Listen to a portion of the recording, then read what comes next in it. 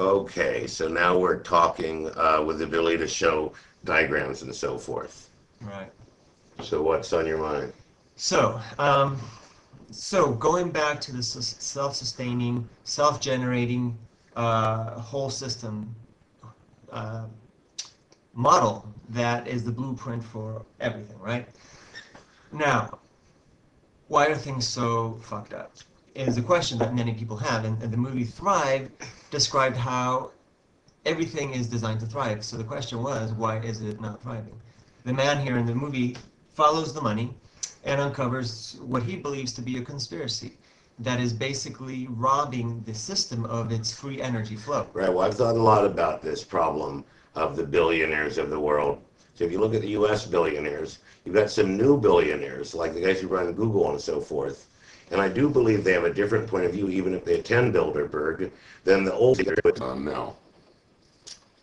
Okay, so basically, the way I've been, I've been seeing it is that it's a expression of consciousness, that humans have been stuck in the last six to eight thousand years in, uh, in, in, in the grips of a pathology, which is called ego. Now, ego defines itself in dualistic terms, me versus you, us versus them, mine versus not mine, etc. This seems simple, but if you take that into equation and you run it, you have standing armies, you have empires, you have uh, greed, you have Okay, people so- wanting to hold. So let me finish the thought Okay, here. okay. So basically, we've fallen into history, is is basically what it's been called, right? So Yeah, that's what with I a like. dominator culture. So it's a dominator culture based on competition. Exactly right, With the right. limited notion that we have unlimited resources. And- Now, and so what's let me- obvious Let me interject. okay. So um, the bottom line is when you say, uh, when people talk about a modern conspiracy, if you go back to the invention of agriculture, whether it's 12,000 years ago or 8,000 years ago, within a few years after that invention, raider culture started to emerge, who could live off of the people that were storing food. And the first uh, nation that traditionally has been taught about is Sumer uh, which uh, history begins at Sumer. It's a famous book, and this became a vast bureaucracy very quickly with enormous cities. Um, so we've had this problem uh, since the beginning of a of a warrior class, and there's also been Thorstein Veblen who wrote a book on the theory of the leisure class, describing them as a vestige of the warrior class, including their ornate trappings. So um, I just wanted to interject that. Sorry. Mhm. No, that's good. Yeah.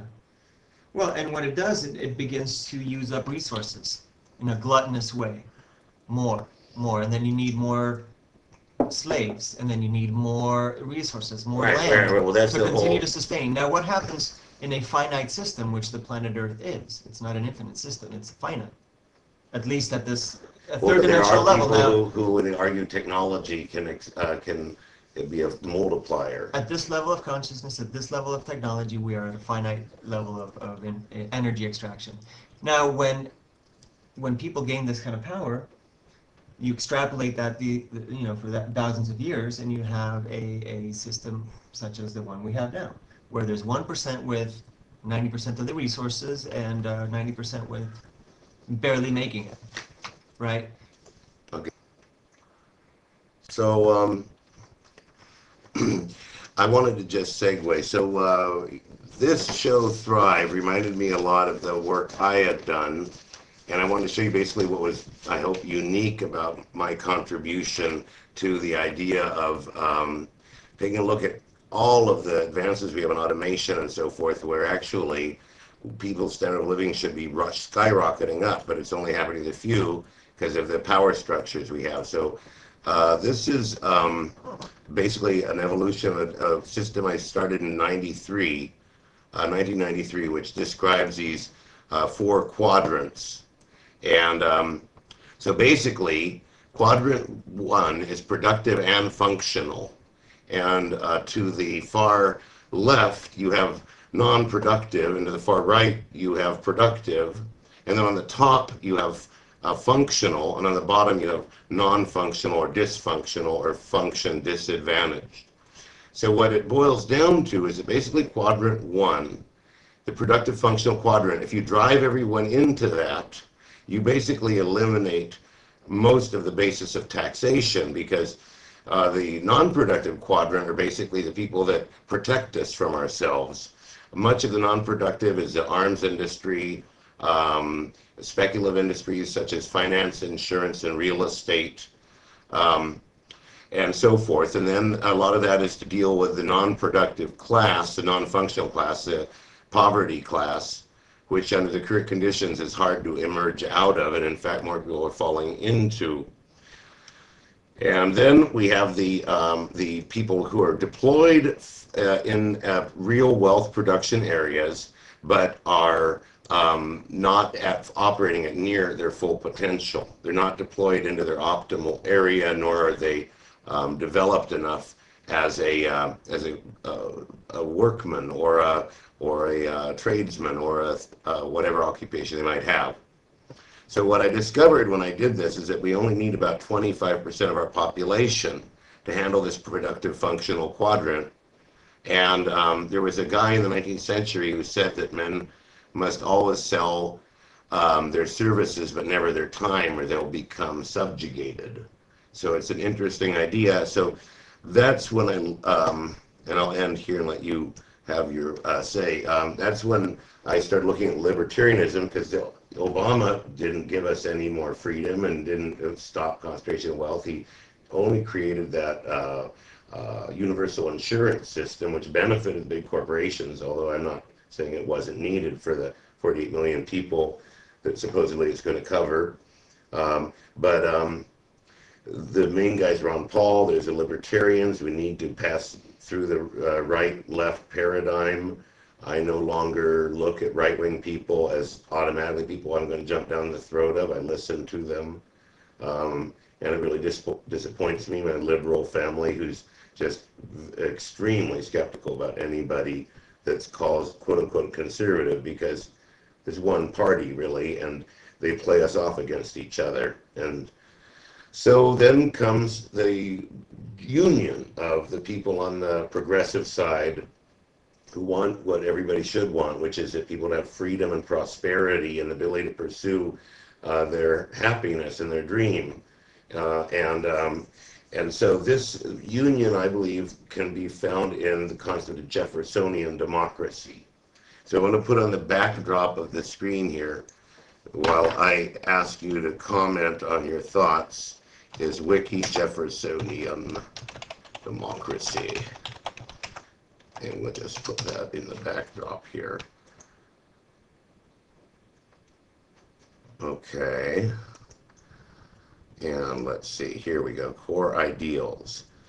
So the core political value of America is republicanism. Civic, citizens have a civic duty to aid the state and resist corruption, especially monarchism and aristocracy. So Right.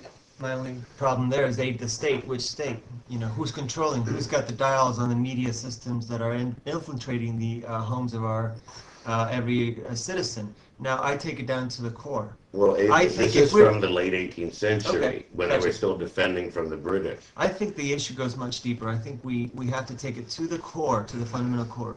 How are we going to feed 7 billion peoples healthy, whole foods? How are we going to uh, give water to 7 billion people? Yeah, And that's a form As- of inflation that people don't account for. Normal people can't afford the very food they took for granted 60 years ago, right? Right. So, so the bottom line is this planet has become unsustainable not because of its nature. Its nature is self-sustainable. It's a whole system environment. Well, it's It's become non- economy. It's become unsustainable because this ego structure that is manifesting in our corporate multi-billion dollar in, uh, corporations, um, they have disconnected humans from source of energy, whether that energy is water, soil, Yeah, resources. Resources. You deprive everyone of the resources and then they're your slaves. And that's the whole point of communitarianism. So if I can just Right. show, Well, I think we need to move beyond the isms. Actually, I think we need to really get to the to the bottom of what's going on here. So, so if we're looking at free energy, if we're looking at the torus as a system that is self-generating based on its own internal process of energy, Mhm. right? Uh, we're not plugged into anything. Our own biosystem is self-generating, right? So, so why do we have to go and well, in a way, And- you and- should and- say that men have an inalienable right to their claim of, uh fresh water and of access to decent agriculture, perhaps through a co-op community farm. So the point is that communities need to re-exert their control over their manufacturing, over their water and land resources, over making sure people get houses they own forever when they get them, not a hundred years later, because they're, they're, they're doing interest-based things like com- community barn raisings. Uh, and, um, uh, so there's a lot we can do. So exactly. So basically, the, the pyramid scheme, this historical pyramid scheme where you have the one percent up here with the levers controlling the masses, needs to collapse. The centralized Yeah, power. here's how you do it, and the just central- Let me finish my thought. Okay. The centralized power grid structure system, whether it's financial, food, uh, medical, whatever, it's all based on this pyramid structure, which Thrive eloquently describes. Now, what we need to do is dismantle this. Okay? Now, how do we do that? Is your question, Well, right? the, the way we do it. Because right now we're we dependent. simply- We simply, But let me. I, I can't resist, we simply stop buying from the core and start distributing all money and energy in, in our community. If you pay twenty percent more, even double if you can afford it, buy things from other local community people or other local community enterprises in other places.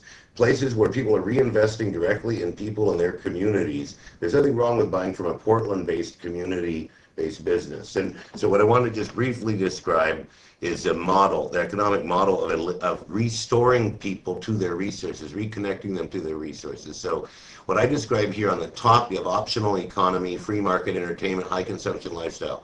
People are free to pursue this if they like, right? And it has nothing to do with the co-op services, as far as I'm concerned, although you're free to start any co-op you want. But the utility industries uh, is, would fundamentally, in the current construction, be based around a co-op bank. Although bank may be an obsolete concept in the way we try to structure these things. And you have uh, communications, uh, infrastructure, um, which, uh, uh, which is basically internet, telephone, wireless. And then you have uh, education and medicine, which can be combined by creating a co-op based around uh, education from the very early stage to the PhD program. And then in the same token, you have the ability to create housing and public spaces, uh, uh, access to food, and then uh, co-op energy. So there, basically, I found there were about eight utility industries, and if you created these things to drive costs down to zero instead of to make profit, because it's a worker owner. Mhm. But you can decline to work, or they can decline to employ you, as far as I've figured it out, and then you just have to substitute cash. If nobody wants you at the medical research clinic, before we solve that problem in detail, we can just say, you would be asked to pay a contribution monthly. And we would make it cost, because that's not our intent. But you cannot guarantee people uh, to be in your working organization um, because it will, uh, it's just an impossible situation for us at this time to uh, think of. Right, so all those pieces can be worked out. Now, I think what needs to be happening now is what- exactly what you're doing. Building the next ship, as our current ship is sinking, right?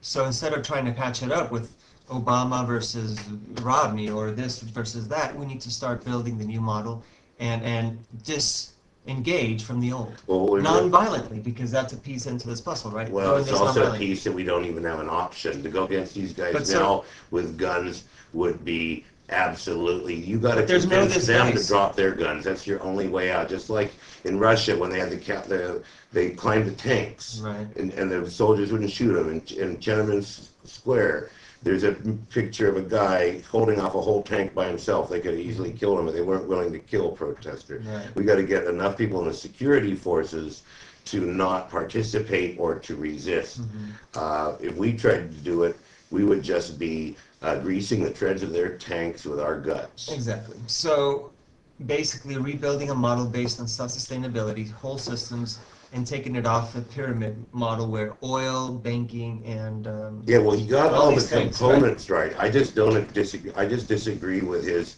conspiratorial um, uh, claims without more evidence in the movie. I studied the Illuminati when I was a kid, and there are a lot of kooks that don't understand that these old Masonic societies were also to keep people from being persecuted if their views were known publicly.